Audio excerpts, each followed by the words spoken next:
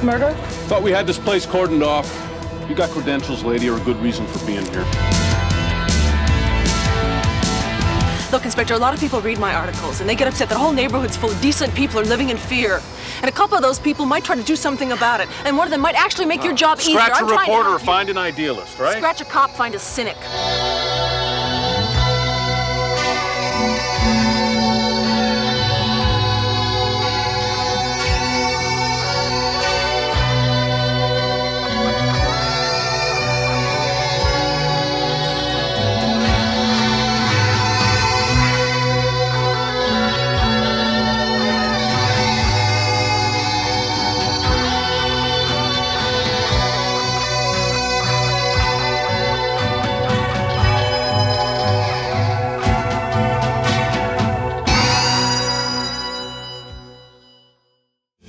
I really think you have a lot of guts, Jimmy.